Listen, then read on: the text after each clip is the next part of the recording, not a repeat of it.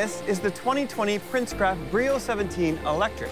Now, believe it or not, for Princecraft, this boat's been around since 2011, but recently it's becoming much more popular.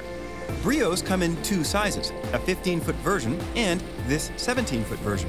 They may be small, but remain functional with many of the features found on larger pontoons, including three lounges, plenty of storage space, and even a stowable pedestal table. Now, even though the Brio is only 17 feet long, check out the size of the forward platform. I know some bigger pontoons that don't have this much space up front. Not only does it have a forward platform, but it has an aft platform as well. So access to the water can be had from either side of the boat. This boat's powered by a Torqeedo 2.0R, which is equivalent to about 5 horsepower.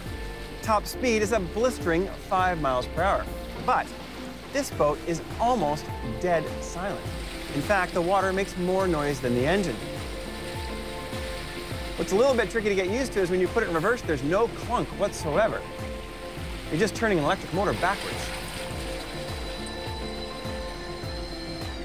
One thing I really like about the Torqeedos are their controls.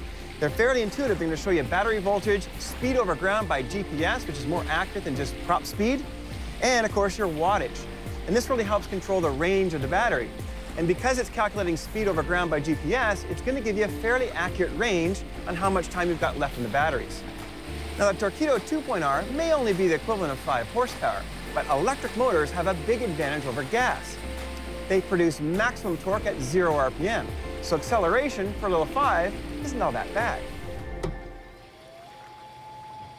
Hope you're hanging on. Now, electric motors really aren't about top speed. They're about efficiency and how quiet you can bomb around a lake. If your lake has restrictions against gasoline engines, well, you can run the 17 Brio on that lake. Now, it's also interesting that wide open, the controls will show you we're burning about 1,800 to 1,900 watts of power.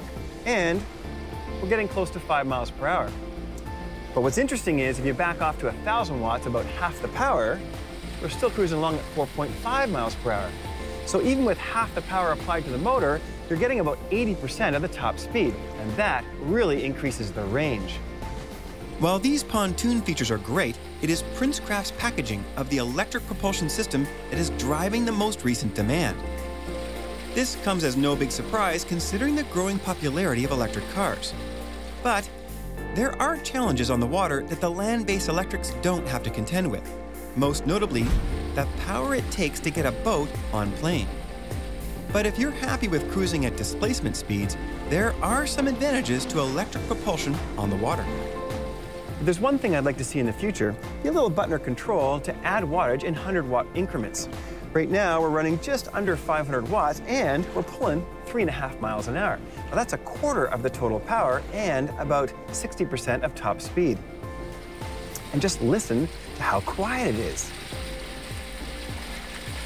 The standard Brio package with the Torqeedo 2.0R provides space for two lead-acid batteries, and you can work with your dealer on a variety of AGM options. The battery bank on the Brio 17 Electric is lead-acid. There is not a lithium option. This Brio was equipped with two extra batteries for a total of four AGMs, which, we're told, will provide about an hour and a half of runtime at wide open throttle, or about four hours at a cruising speed of 4.4 miles an hour. If you need a little more power, the Torqeedo 4.R is also available, and it's the equivalent of 9.9 horsepower. But it only gives you about one extra mile an hour and cuts your range almost in half. So the most popular model is the Torqeedo 2.0R. It's the least expensive and has the best range. The solar panels are an option and not an inexpensive one at that. And if you're expecting them to keep the batteries charged while you're running the boat at speed, it's not going to happen. But if you're in a remote location and you don't have easy access to power, they could be a handy option. Sure, there are some limitations with such a restricted speed.